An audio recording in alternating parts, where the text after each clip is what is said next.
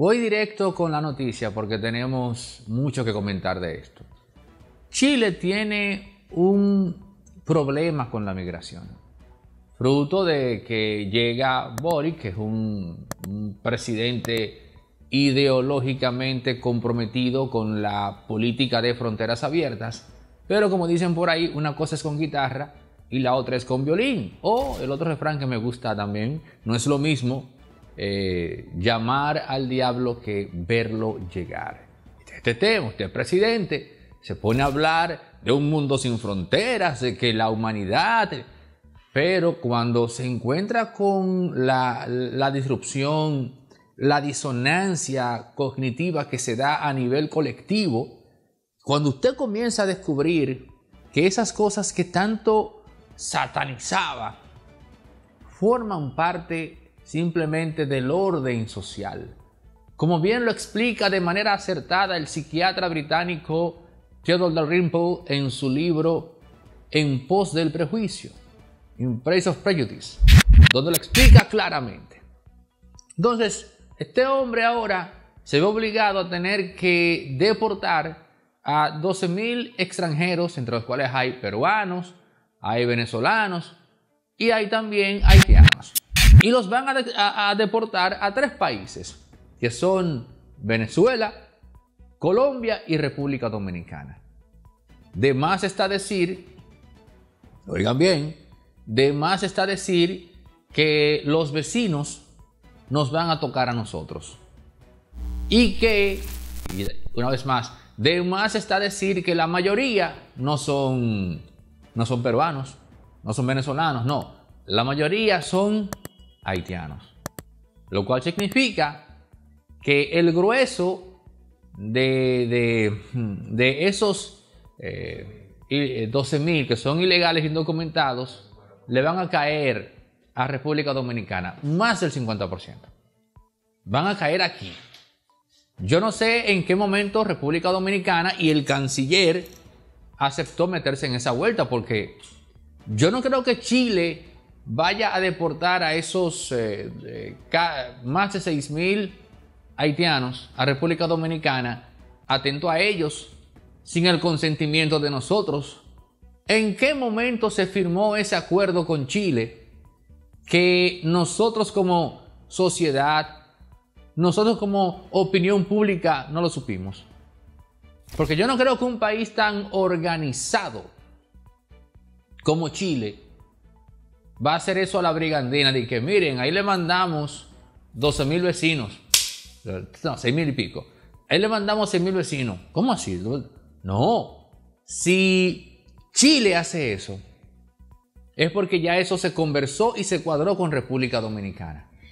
Ténganlo por seguro.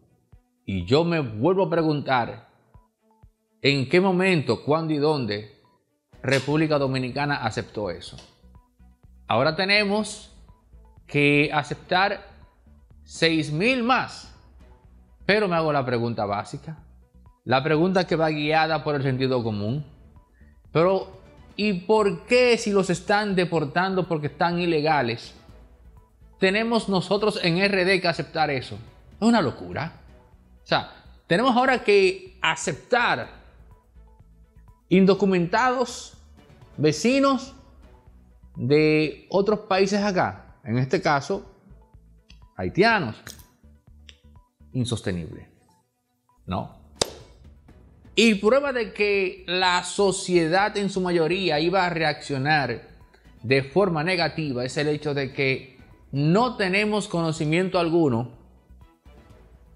del momento en el cual a nivel diplomático se hizo ese compromiso.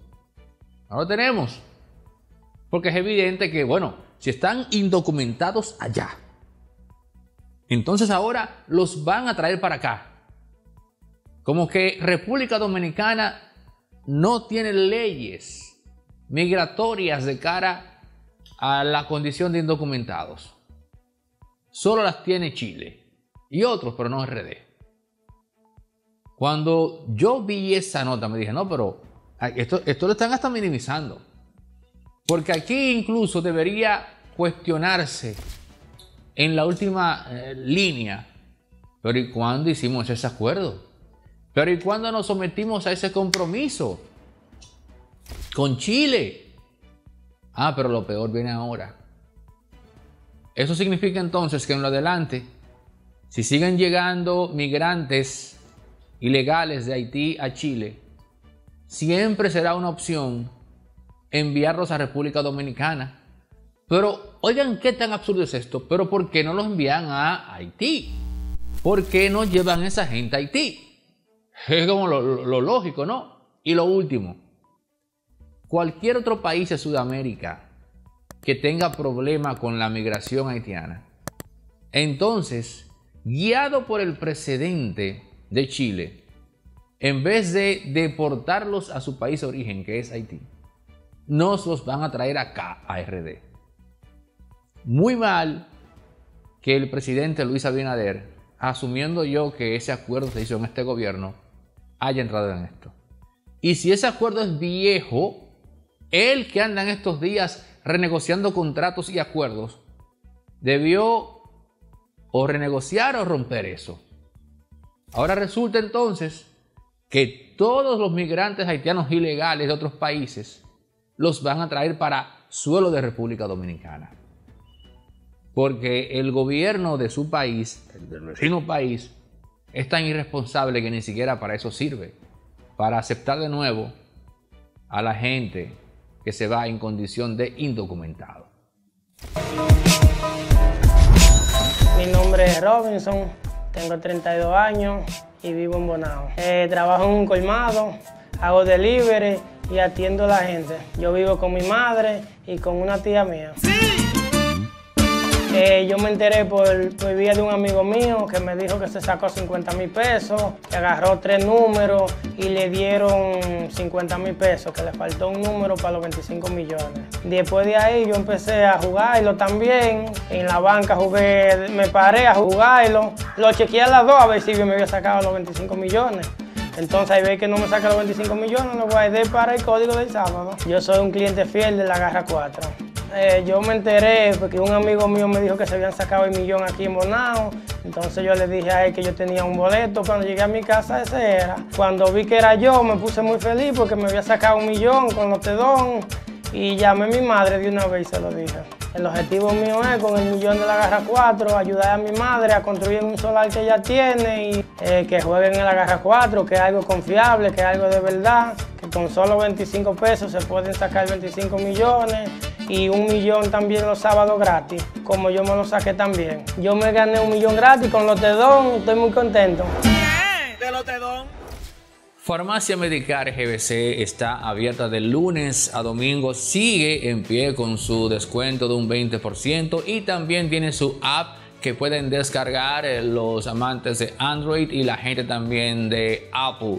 Farmacia Medicar GBC, la de nosotros los dominicanos.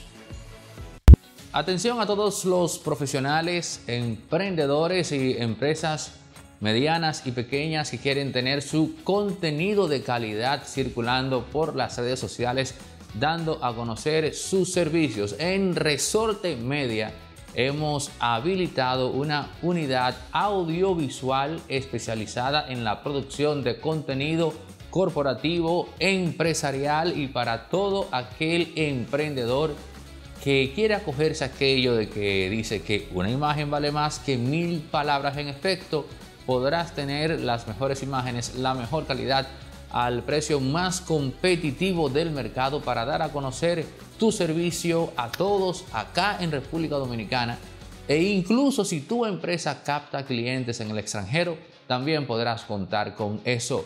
Contáctanos, escríbenos al 829-741-361 para que arranques desde ya a colgar contenido en tus redes sociales con la mejor calidad audiovisual posible, la que Resorte Media pone a tu disposición con el presupuesto más eh, asequible del mercado.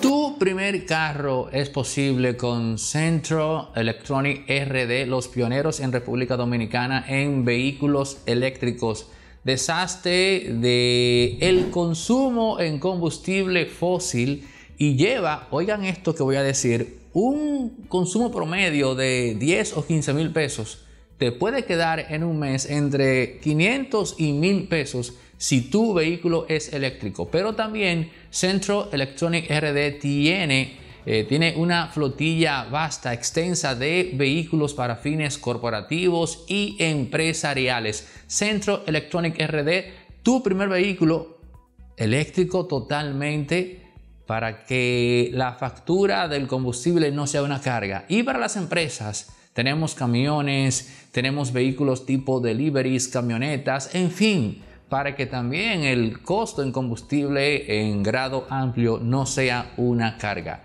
Centro Electronic RD, teléfonos en pantalla para más información. Si vas de parte de Impolíticamente Correcto, tienes un descuento de 500 dólares en cada compra.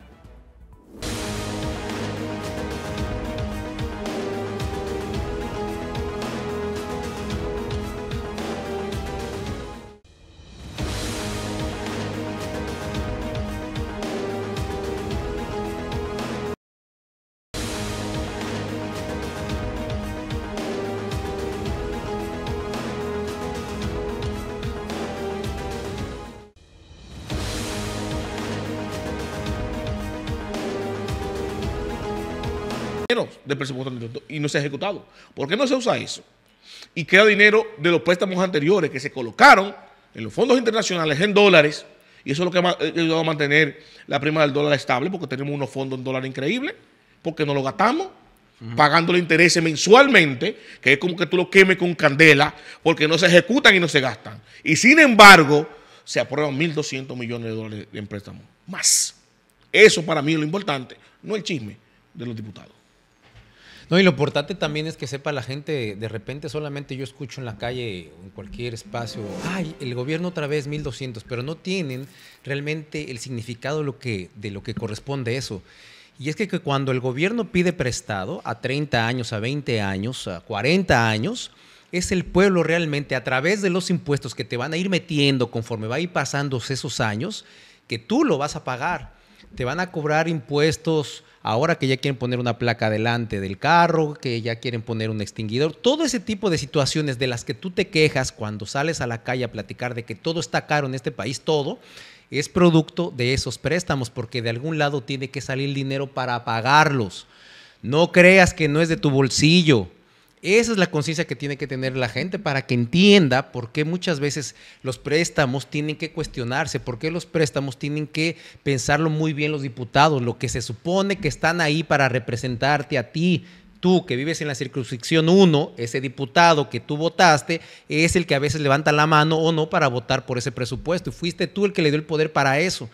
Por eso es que deben de pensar conscientemente por quién van a votar ahora ya en el, en el 24 y me parece a mí que eso es lo más importante de que la sociedad sepa para que no se las vayan a dejar caer otra vez y se queden como, ah, ya otros mil millones más, dentro de otros seis meses van a venir otros mil millones y así se van tapando un hoyo para, o haciendo un hoyo para tapar otro, como diría pero ¿cuándo se va a acabar este hoyo? Nunca. Es tapar un hoyo para hacer otro, tapar un hoyo para hacer otro. Y mientras tanto, la infraestructura de la República Dominicana cayéndose, mientras tanto sigue habiendo sectores sin luz, mientras tanto tú vas al hospital, no hay jeringas, mientras tanto tú quieres ir a la escuela y una educación de mala calidad, el transporte de mala calidad, el metro de mala calidad, y así te vas con todo lo que se supone que se debe de corregir con esos préstamos. Entonces, no sé, no sé qué más pueda suceder para que la sociedad dominicana haga conciencia de eso. Bueno, yo, yo pienso que esto, y, no, hay que extenderse mucho, que, uno hace una reflexión. Yo he hecho una reflexión en los últimos meses, he leído mucho eh, al respecto eh, sobre el tema de, de los países más avanzados en los últimos años. Y los que más han avanzado, señores, no son democracias. No son democracias. China, lo por cual me hace, sí, Singapur. Singapur, una lo cual, lo cual me hace, lo cual me hace pensar y, recurrir a esa, a esa máxima de un célebre personaje, es ficticio, pero lo que dice yo creo que es algo demoledor. Frank Underwood, en House of Cards, cuando, ya eso es famoso, ¿no? Cuando dice, la, la democracia está sobrevalorada. Yo creo que el sistema democrático en República Dominicana no funciona. ¿eh? quizás es mejor una, quizás Autocracia. un régimen autoritario que funcione a una mala democracia. Ahí no, ahí no, Lo estoy, lo estoy, Sí, podría lo ser. Pues estoy- pensando, yo de verdad, de verdad, mira, sí. yo no estoy seguro estoy 100% de eso. sí, sí, no estoy sí. seguro 100% de lo que estoy pero diciendo. sopesa, se pero voy, pero sí, voy, voy sí. camino para allá, ¿eh? Sí. Pero voy camino para allá. Pero no, no te preocupes, no va a ser un régimen, no va a ser un régimen. eh, yo prefiero una, una no. yo prefiero una democracia con, con dificultades No que una Pero que, no, y, y todos jodidos y pobres, no, sin una superación no apoyaría, económica. Yo no apoyaría bajo ningún concepto un Para muy régimen, pocos. un régimen No. privatizador, claro que no. no, no, pero un régimen, pero una Nayib Bukele. Un régimen No, privatizador yo no. apoyaría. No. Pero este van privatizando, entonces tú apoyas este. No, este no. no. Ah. Un régimen privatizador yo no apoyaría nunca. No, yo claro. Esta es la quinta pata, la quinta pata, Mario Herrera, José Maracayo, El Charro Bachatero, Fernando González, Edwin Cruz. Recuerden suscribirse, darle like, comentar, activar campanita. ¿Se me queda algo? Y todo eso. Todo y eso. todo eso.